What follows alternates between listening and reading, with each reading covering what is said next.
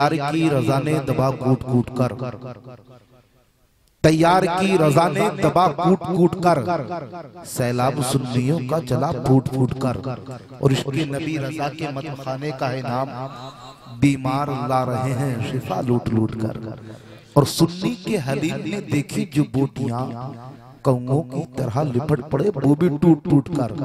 और सुन्नी रजा के सदके में जन्नत में जाएगा, अल्लाह के अजाब से भी छूट छूट कर। आइए हजरात, अब आपकी समातों के हवाले। हम जिसको काफ़ी देर से देख रहे हैं, जो हर वक्त आपकी नज़रों के सामने रहता। हर वक्त बच्चे का जन्म होता और यहाँ तक कर इंतकाल होता दस माह बीस माह चालीस माह तमाम तर चीज़ें जिसे पहले पाया जाता है, वो मस्जिद का इमाम होता है। है ना? और ये तो मैं कहता हूँ कि इस वक्त में अगर कोई आज दीन का काम कर रहे हैं तो हमारे मस्जिद के इमाम कर रहे हैं हाँ। बोला करें। इस वक्त कोई काम कर रहे हैं। हमारे दिल को उजागर करने वाला वो मस्जिद का इमाम है। हमें पाँचों वक्त अजान सुनाने वाला वो मस्जिद का इमाम है। हमें अच्छी दर्श देने वाला हर जुमे को वो मस्जिद का इमाम है। माँ सैयद साहब, नदीम भाई, तमाम साहब, बाद में दसवा हो इमाम, पहले हम बाद में, बीसवा हो इमाम, पहले हम इमाम, पहले हम बाद में, चालीसवा हो इमाम, पहले हम लोग बाद में। याद रखो, बरसी हो, इमाम पहले, हम बाद में। याद रखो, इसलिए अपने इमामों से मोहब्बत किया करो और दोस्तों, की बातों पे अमल किया करो। आज दुनिया में ऐसे भी लोग पड़े हैं, पीछे नमाज़ पढ़ते हैं, इसी इमाम के, और चौराहों पर बैठकर खुराफात करते हैं इमाम के लिए। याद रखो मेरा भाई, जो काम अपने इमाम को उजागर नहीं होने देती, वो काम बर्बाद हो जाती है। इमाम मालिक फरमाते हैं, याद रखो, अगर जिसने आलिम से आलिम की शान में गुस्ताखी की। या आलिम को गाली दी।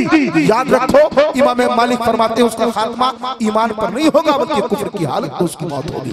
याद रखो, अपने उलमा से मोहब्बत किया करो। आइए मैं ये देखना चाहता हूँ कि आप लोग अपने इमाम से मोहब्बत किया करते हैं, या उनकी आवाज़ से मोहब्बत किया करते हैं। पूरा मरबा दोनों हाथों को उठाकर बोलिए, या रसूल अल्लाह और बोलिए, या रसूल अल्लाह कभी जलजला, कभी तूफ़ान आएगा कभी जलजला कभी तूफ़ान आएगा हर सिफ्त का सामान आएगा और जब तुमसे ना हो सकेगी, भारत की हिफाजत, उस वक्त सरहदों पर मुसलमान आएगा।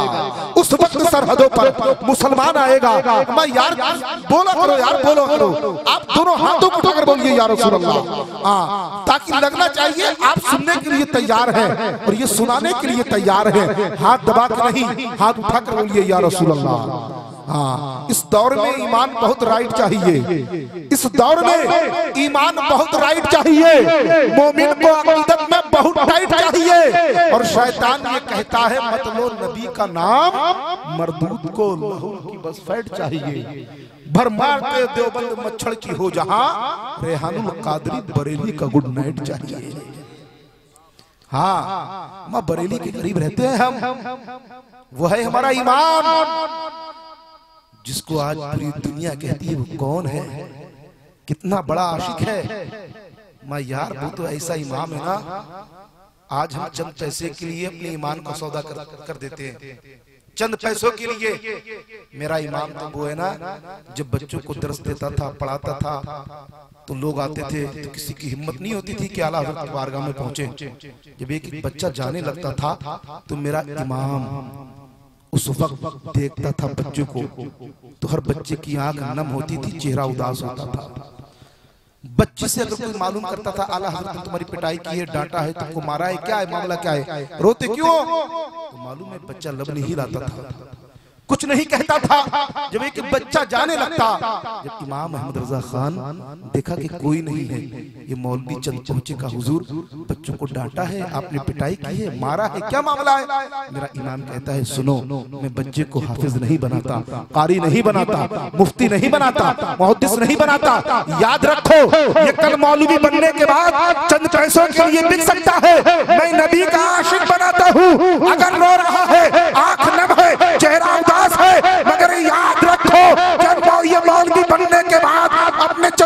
के लिए ईमान का सौदा कर सकता है। मैं नबी का आशिक बनाता हूँ। गर्दन तक से जुदा हो जाए मगर ईमान का सौदा नहीं कर सकता। याद रखो ये है इमाम अहमद रजा खान। अपने बच्चों को बताओ कि इमाम कौन है? वो बरेली का इमाम अहमद रजा खान खान कौन है? जिसने हमारे जल से जुलूस मिलाद जिसने बचाए हैं वो बरेली का इमाम अहमद रजा खान है।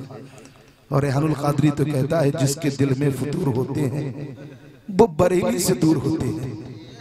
जिसके दिल में फतूर होते हैं, वो बरेली से दूर होते हैं और है करम जिस पे आला हज़रत का। वो कुछ ना कुछ ज़रूर होते हैं। आइए हज़रत, इस्तकबाल कीजिए, आपकी इमाम की आमद हो रही है।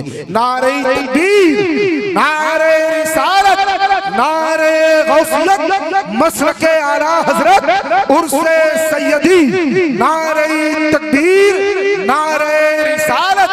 तुम्हारी मगफरत का एक हसी सामान लाया हूँ। खुदाए पाक का बस यही फरमान लाया हूँ। कहा जिब्रील ने अपने हाथ में लेकर रसूल हाशमी की नात का दीवान लाया